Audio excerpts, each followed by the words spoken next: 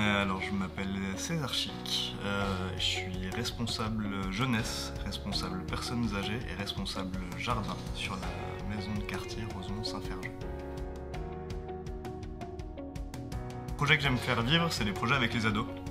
Euh, où donc c'est eux qui construisent et co-construisent leur séjour sur plusieurs temps d'activité qu'on fait tous ensemble, en main le budget, euh, la liste de courses, les menus, les activités, l'hébergement et la durée du séjour en général.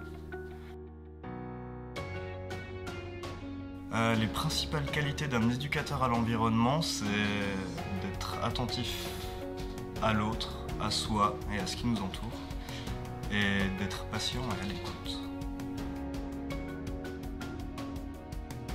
Que m'a apporté la formation et ce qui m'aide à faire mon métier aujourd'hui, c'était la semaine d'itinérance avec euh, Denis Mar- Marcelin. Euh, et c'est ça qui m'a donné envie de faire des séjours ados.